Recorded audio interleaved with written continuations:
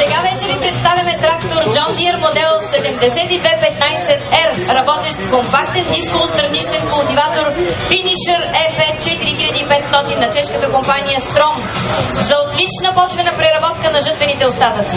Машината може да се използва за подготовка на семенното легло. Дисковата секция подготвя почвата за другите работни органи и така се получава ефекта, за който е необходим само с едно минаване.